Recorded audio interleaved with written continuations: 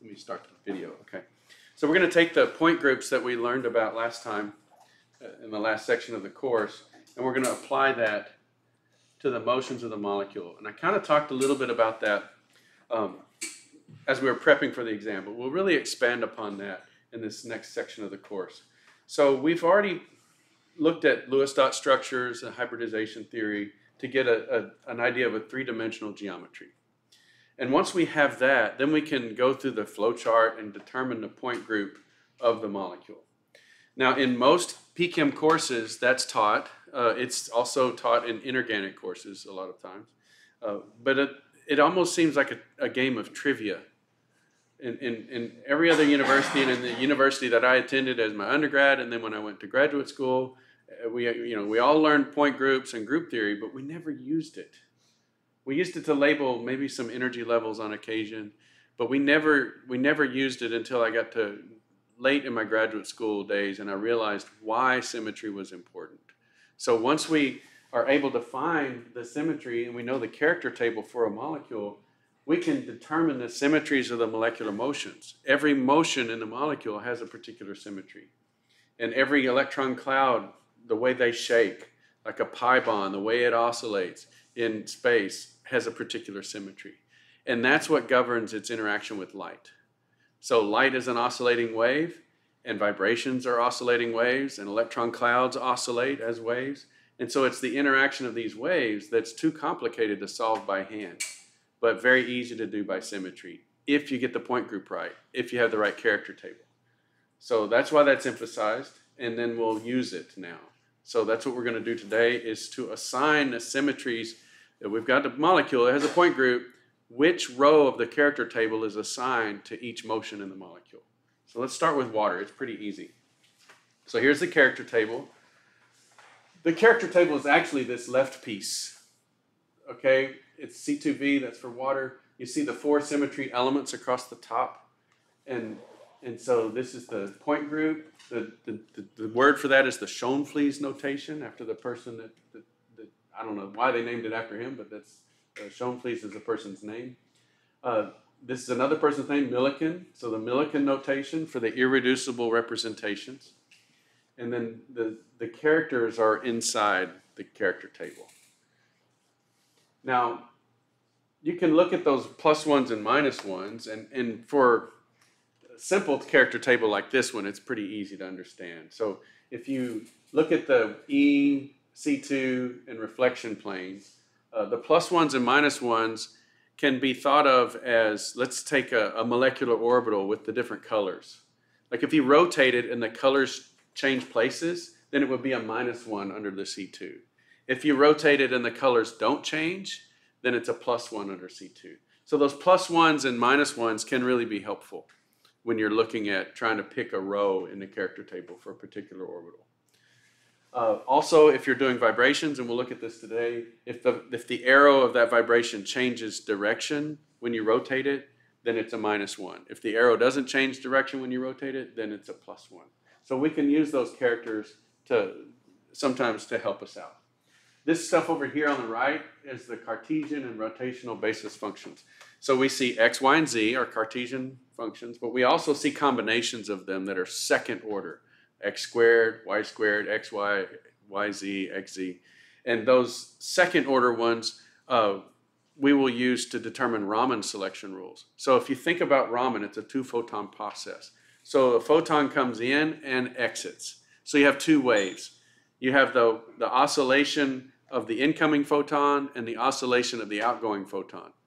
Now, if both oscillations are on the z-axis, so it's coming in, oscillating on the z-axis, and it leaves oscillating on the z-axis. Maybe at some other angle, but still it's oscillating on the z-axis. Both of them are z, so it's z squared. But maybe the photon comes in, interacts with the vibration that rotates that electric field, and it leaves on the y-axis. So that would be the yz combination. Or it leaves on the x-axis. That'd be the xz combination. So any combination of those two Cartesian coordinates uh, would be a Raman uh, experience, a scattering. And so that's, that's why we put Raman on this column sometimes. And it has all the, the second order combinations of the photons. X, Y, Z uh, can be the Cartesian coordinates, but it can also be the oscillating electric field of light. Come in and be absorbed if it's oscillating on X or on Y or on Z. Absorption and emission would be in this, in this column. And RZ, RX, and RY, those are your three rotational degrees of freedom. So the rotation of the molecule has a particular symmetry. And so that's what Rx, Ry, and Rz stand for. So pretty much everything a molecule can do and how it interacts with nature is in this, this column, these columns on the right. Now this top row is the only one that's even. You know, in our particle in a box, we had even and odd. It was easy to look at the wave function because it was just a one-dimensional wave function. So we could look at it and say, yeah, if I go to the left and it's positive, if I go to the right, it's positive, that's an even function. If I go to the left, it's positive, if I go to the right and it's negative, that's an odd function. Easy to see in one dimension, not so easy to see for a complicated molecule for an electron cloud or maybe a motion, a vibrational motion but we can be confident that the top row is the only one that is even. Everything else is odd. So if, if we're taking these motions and multiplying by light and multiplying by an excited state motion, we may end up with multiple components. You know how if you multiply trigonometric functions, sometimes you get, uh, you have to do a substitution and you end up with two or three integrals. Okay, one of those functions may be even and the others may be odd. So those other integrals may be zero, but you still have a non-zero integral. And so that's what's being shown here with the pluses. After we multiply all of these functions together, we may end up with many symmetries inside our integral. and all it takes for that integral to be non-zero is for one of those smaller integrals to be even. And so in this case, you see that has an A1 right there. That's top row. And so this is not equal to zero. The B2 piece is zero. The B1 piece would be zero, the A2 piece would be zero. But if it has A1 anywhere in it, then the overall integral will be non-zero. And then anything that is not top row is odd symmetry, and so integrals of B, A2, B1, or B2 would be zero. So that's a very helpful result.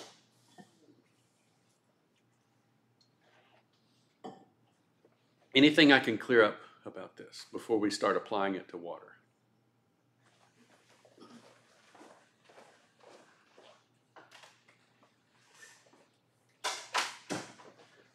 I'll try to be precise in my language whenever I say if the contents of the integral contain the top row, as opposed to saying if the contents of the integral are the top row, right?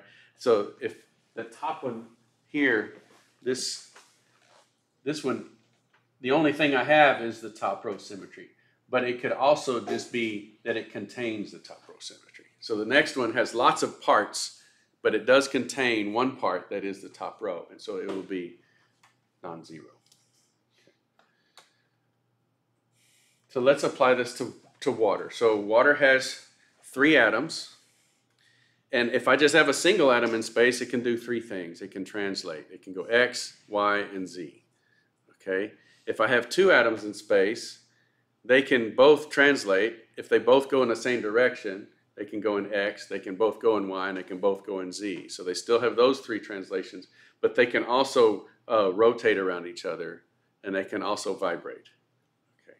So we don't ever lose any degrees of freedom, we just change what they are. When we start making molecules, we still only have three translational degrees of freedom, but then we get three rotational degrees of freedom, and then we have the balance is vibrations. And so let's looking at water, we have nine total degrees of freedom. They're all nine are shown here on the board. The top three are translations, so all three atoms are moving in space. The next three are rotations. It's kind of hard to show rotation on a static screen, um, but this is, you see this little stick here? This is the x-axis, right? So here's our coordinate system. This is the x-axis, and I show the little rotating arrow. So this is rotating around the x-axis. Here I show the y-axis, and it's rotating around y. And here I show the z-axis, it's rotating around z. And that's all you can do. The, the only time that's different is for a linear molecule. So pretend that this is a linear molecule, and I can rotate around the x-axis or the y-axis but the rotating around the z-axis is not defined because I don't have, if it's linear, there is no mass off the z-axis. And so there's no moment of inertia, there's no resistance to rotation. In fact, I couldn't tell if it was rotating. So it's just not defined. The rotation around the, the linear axis of a linear molecule is just not defined. So I would only have two rotations for a linear molecule.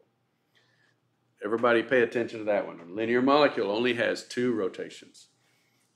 Yeah, x and our y.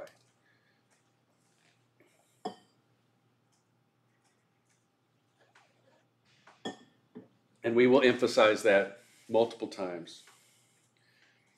So if it's not a translation and it's not a rotation, by definition, it's a vibration. So that's why the vibrations is always a difference. It's 3n total degrees of freedom minus the rotations and minus the translations. So that's the minus six part. Everything else, that, that difference gives us the number of vibrations. So in this case, we had nine total degrees of freedom. Nine minus six is three. So here are the three vibrations in water. now, think about. I really wish we could build one of these in the in the department. Uh, one of the earliest, I forget what his name was, but uh, one of the earlier researchers in vibrational spectroscopy, um, he suspended atoms from the ceiling with like a like fishing wire. Okay, so he had some masses here. So for oxygen, relative to hydrogen, the oxygen would say be 16 ounces and the hydrogen uh, mass would be one ounce, and they were all suspended from the ceiling with uh, with the filament, and then he would put a spring between them. And he found that if I stretch one OH spring and let it go, the other OH spring has the same spring constant, and I couldn't vibrate just one.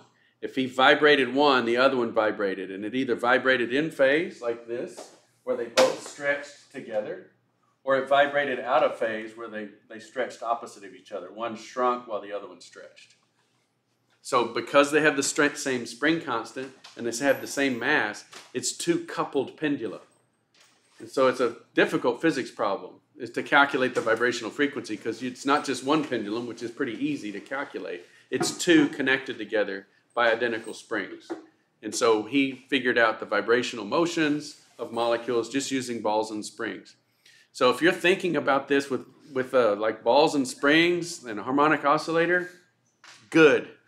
okay, even though it's a quantum system, it still behaves that kind of that that in motion of, or uh, moment of inertia and all of that. The, the classical physics of balls and springs works really well with vibrational motion. Okay, now the spectroscopy deals with the wave function, but the the, the mass, the frequencies, and so on will follow will follow the, the harmonic oscillator with balls and springs. Now the other motion that they can do is just to bend that angle where the springs don't stretch at all, they just bend.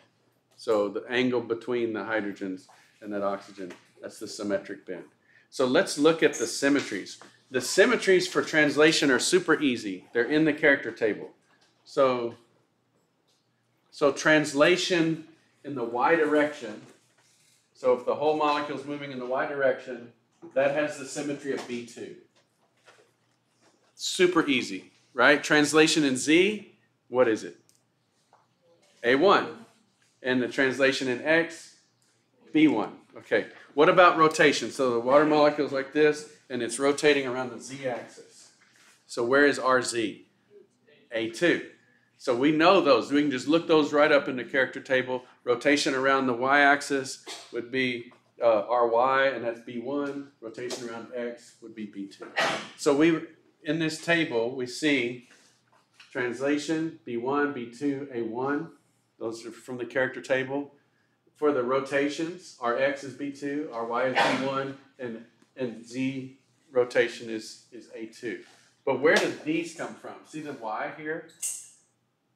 Symmetric stretch, A1. How do we know that?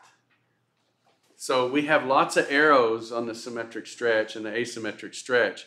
And so today's class is trying to teach you how to figure out the arrows, like the, the, the symmetry of vibrational motions in a molecule. So let's look at that. So these top six are super easy. This will be easy after today. Okay. So if you get the arrow diagram for a molecule, you should be able to figure out the, the row of symmetry in the character table for that. So you got the molecule, you got to go maybe the flow chart, get the character table, you know, point group, then the character table, and then if you have the arrows on the on the atoms and how they're stretching, you should be able to look at um, at how the arrows cancel, and then uh, compare that to the character table and determine the symmetry. So here's a pretty complicated action in the molecule. So the, the hydrogens are stretching. That's what these arrows, notice where the heads are. So the, the bond is, is lengthening over time. And then sometime later it turns around and comes back. So it's a harmonic oscillation, balls and springs. Okay, the bonds are springs and this, they stretch and they compress, stretch and compress. Um, now the, the molecule can't translate because that would be translation. So if the hydrogens are stretching down, the oxygen has to go up a little bit so that the center of mass doesn't move. And then sometime later when they compress, the oxygen goes down. So it's like this. Okay, that's the best I can do. Now, can we compare this to the x, y, or z axis? This is how we do that. So let's look at the z axis first. Have you ever taken vectors? Would you ever do this in high school or maybe in college? and take this vector and compare it to its components. So this has a down component and a horizontal component. So it goes down, both of them go down, and then they both go out. So we look at the y-axis, and they have a y component too. So it goes down and out. That's what the diagonal motion is. So we're just taking this diagonal arrow, comparing it up there to the coordinate system, and we're saying the z parts go down, the, the y parts go out. But notice that this hydrogen's y part, this arrow is going out, that arrow is going out. They cancel each other. That motion cancels. Okay. But the z part does not cancel. So what we've done is we've moved the positive charges further down the z-axis the oxygen is more negative than the hydrogens, and it has moved up on the z-axis. What has that done? That has created a dipole moment that has gotten stronger. So a dipole moment is the separation of partial charges in a molecule. So if you're if you've got a molecule and this vibrational motion causes the positives and negatives to stretch and get further apart, then you're creating a bigger electric field. If those positive and negative charges get closer together, you're getting a weaker uh, electric field. Well, this is an oscillating electric field, and so is light.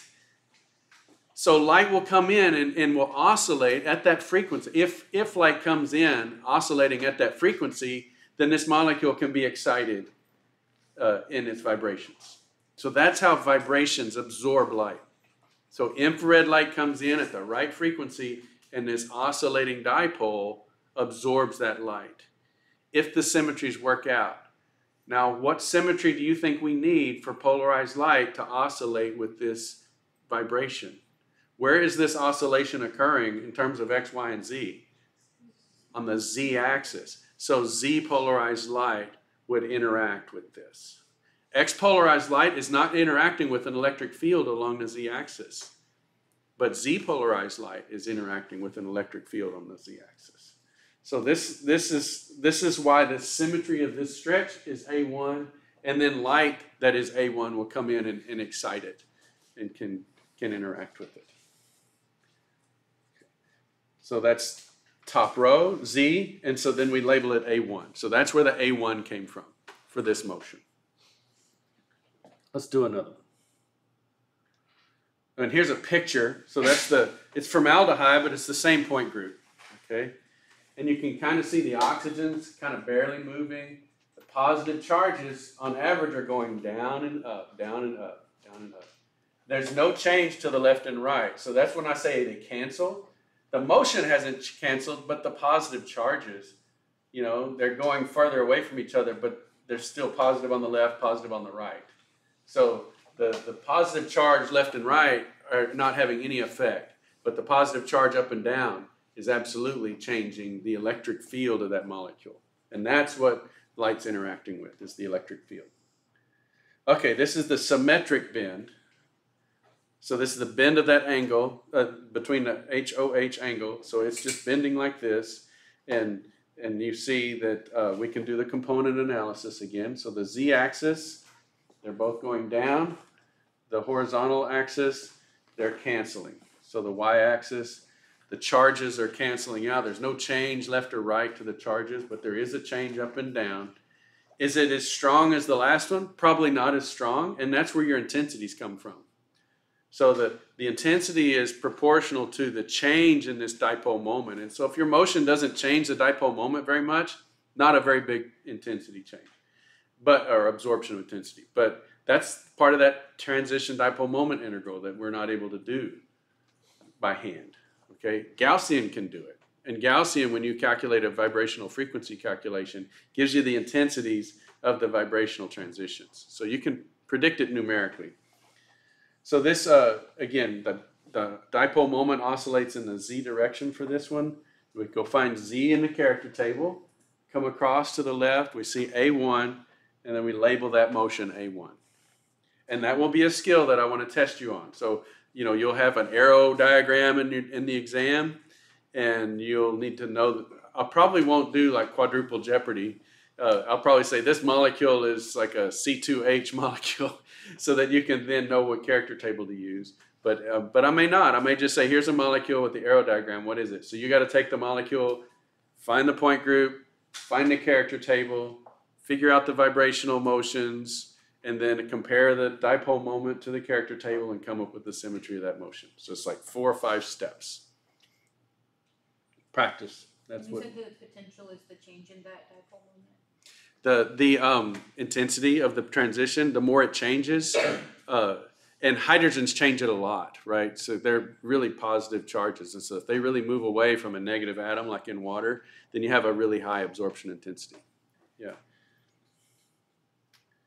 So let's do the asymmetric stretch. It's a little different. Okay, the Z components the oxygen's not moving in Z, but the hydrogens are. So this one's got a charge that's going up, and that has a charge that's going down. And so the charges that are going up and down are kind of canceling out each other. Okay?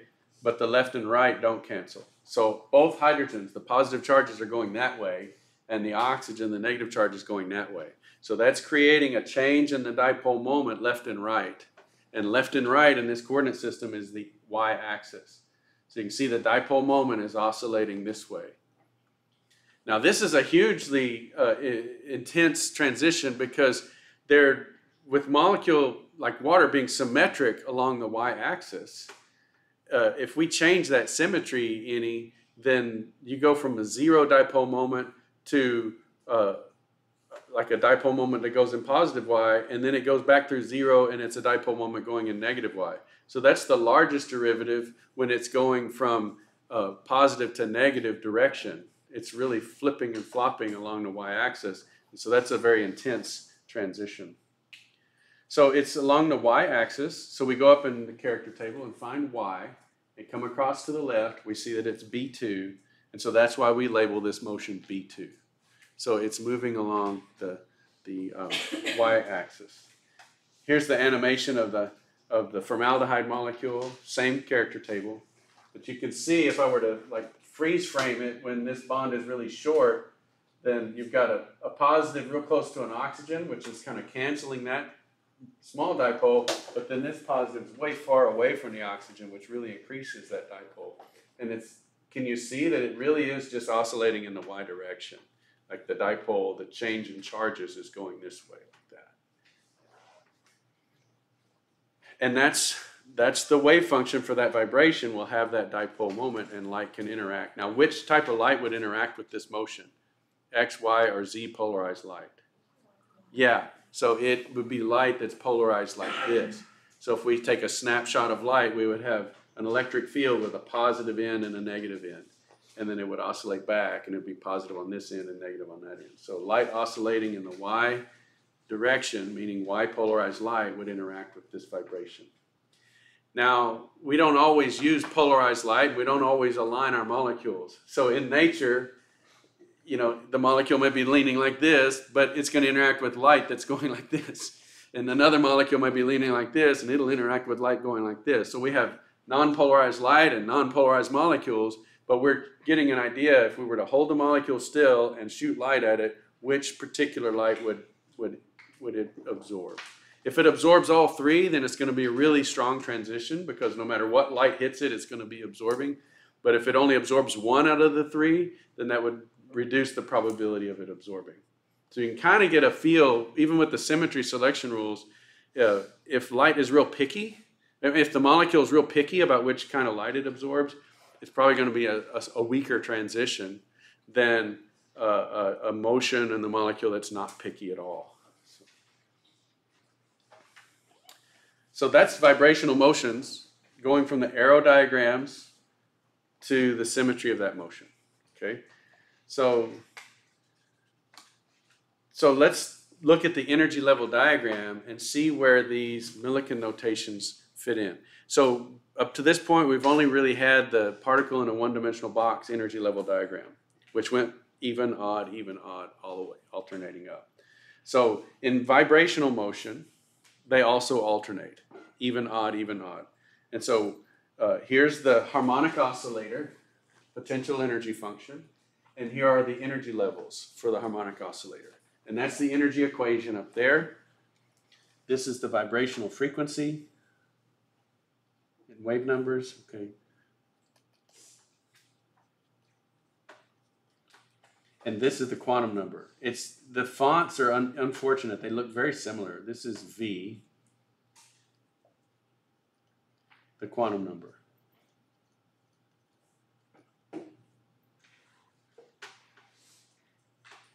So vibrational motion, just to keep things straight. So if we've been using n for our quantum number, but we'll, we'll keep that for the particle in a box. For vibrational motion, we'll use v. That's convenient, right? Vibration motion, v. Okay. And so the symmetries of the vibrational wave functions alternate, just like they did in the particle in a box, between even and whatever the motion of the molecule is. So in this case, so you see the A1s Every even quantum number has A1. Oh, and the vibrational motion starts with the quantum number zero. So V equals zero. Whereas the particle in a box, the lowest ground state was just N equals one. So vibrational motion, V equals zero is the ground state. Okay. That's a difference. Odd numbered quantum state wave functions match the symmetry of the motion. Do you see why I have to use that language? Because each vibration may have a different symmetry. So every vibration has its own energy level diagram because every vibration has maybe a different set of springs and angles and things that it's doing. Okay? So every one of those different spring stretches and so on may have a different force constant, like the springs, the way they add together, and different masses that are moving. And so they'll have a different potential energy, which means they'll have different vibrational frequencies. Okay, so there's one of these there's 3n minus 6 of these for every molecule. So every vibration has its own energy level diagram. So for vibration, it's top row for all the even quantum states, and then whatever the symmetry of that motion is for the odd quantum states. So for this case, uh, for the asymmetric stretch, which we just determined to be B2, we're going to have that for, for 1, 3, 5, 7, 9, and so on. And and again, you can always come back to this video to review. You know, if you're just like, oh, I can't remember that about the symmetry of the motion and how it fits to the energy level diagram, come back to this video. Now, I, I jump immediately to molecular orbitals because uh, I want to emphasize that they do not follow a pattern. So, so the particle in a box followed the pattern, even, odd, even, odd. Vibrational motion, follows a pattern, even, odd, even, odd. Even rotation, we'll do rotation in the future, follows a pattern, even, odd, even, odd. But molecular orbitals are crazy. The electron cloud is crazy. Okay, so there's no, there's no guarantee what the order of the symmetries are in molecular orbitals. So let's look at some of those. So this is water. So these are the shapes of the vibrations of the electron cloud in water. So we've made some sigma bonds with the OHs, and we've got the, the valence electrons around the oxygen, and they all combine, and this is how they combine. Don't get caught up in all the dotted lines. It's a molecular orbital diagram, and that's the last part of this course. Okay. What I want you to focus on for now is the symmetries. A1 here, and it's A1 here again. So notice it's not alternating. And then it's B2, and then B1, and then B2 again, and then A1. So you see, there's no pattern. It's not like the vibration where it was A1, B2, A1, B2. For molecular orbitals, and I, I pound this into you because every time I get on, the, uh, on an exam and students are like using the vibrational assumption that in the in the transition dipole moment integral, the very first one is guaranteed to be A1. In vibration, it is, but not in molecular orbitals. So if we wanted to connect, uh, if we wanted to see if the if this transition was allowed from here, say to here, can I can I send an electron up here with light? This upper wave function is B2 and the lower wave function is B2. Okay, so we would set up a transition dipole moment integral, which we'll do in the next video, and determine if that transition is allowed. So let's let's practice on where on determining what these symmetries are, right? So this one is A1, why? And this one is A1, why? So let's look at some of those. And this was a difficult question to answer. Um, it's one of those things that I, I look at it and I don't remember how I learned it. And that's really frustrating to, to a professor and to a student, right? When I'm trying to teach you something and I don't remember how to teach it because I don't remember specifically how it clicked for me. So I've made this, I've tried to make a little um, uh, flow chart here for you. So this Mulliken notation flow chart. So y'all don't have the, the orbital on your on your notes, but you should have the flow chart. Do you have the flow chart? Okay, good. All right, so we start out with some yes/no questions. And so I'm gonna I'm gonna put myself at the I'm gonna stand right here, you know, in my imagination. I'm gonna stand right here at the origin of that molecule, and I'm gonna look at the electron cloud. So let's let's start with the z-axis. So I look up, and according to that map, I look up and I see a green electron cloud on the left and a red electron cloud on the right. Okay, and then I look down and I still see green on the left, and I still see red on the right. And I'm looking on the z-axis. I look up in z, green left, red right. I look down in z, green left, red right. It hasn't changed. Okay? So it says, is the z plus z the same as the minus z? I would say yes to that. So I looked up, it was green and red, left, right, and looked down, green and red, left, right. So I would say yes. So that's going to be z squared. Okay? Think about the axis, if you square everything, there's no negative numbers, right? You look positive, it's positive. You look left, uh, negative, it's positive as well because it's squared. So that would be z squared type symmetry. If I do that on the x-axis, so x is coming out of the molecule. So I look towards positive x, green on the left, red on the right. And now I don't want to turn around because that'd be rotation. I look behind me. green on the left, red on the right. okay, so in positive and negative x, it's the same green left, red right. And so that's going to be x squared. Okay, so I would say yes, it's the same x squared. But let's look at the y. So I'm standing on the origin of the molecule. I look in the positive y direction, I see green. I look in the negative y direction, I see red. It's changed. And so that means that has the symmetry of y. Okay? So then I come over here, that all feeds into the next set of questions. It says, is there a single x, y, or z symmetry? Yes, because it was z squared, it was x squared, but it was y. So I had y. So I answered yes to the y question, and it said yes, then choose the x, y, or z row of the character table. So I've determined that the symmetry of this electron cloud motion is in the y direction. Now this is easy to see if you know what the green and red represent. Do y'all know when we draw an orbital and we shade one side and not the other what we're representing? The antibonding and bonding. It comes into that, but what do the shading mean? What is the actual, like in this case, different colors? Electronegativity? Mm-mm, no, it's this is this is when you check about an atom, like the spd orbitals, those are the spherical harmonics. What does the word harmonic mean to you? Vibrations. So these are the vibrations of a spherical shell. So if I take a spherical shell and I bang on the top with a hammer, it's going to oscillate up and down. And that oscillation, if I map it around in latitude and longitude, will look like the p orbital. So that's the oscillation of the sphere, and the z direction would be the pz orbital. So this green and red is oscillation of the electron cloud. So let's say that the green is expanding and the red is contracting. So it's expanding in the big y direction and contracting in the negative y direction. And sometime later it goes the other direction. So look at the colors. They slosh on the y axis. Do you see that now? When you know what the colors mean, you can see the motion of the electron cloud is y. And so you go to the character table, it has y symmetry. Here's a picture of it. Here, this is the z, the z one. So when you know what those colors mean, this would be a like a time lapse picture of the electron cloud. What's the symmetry of this motion?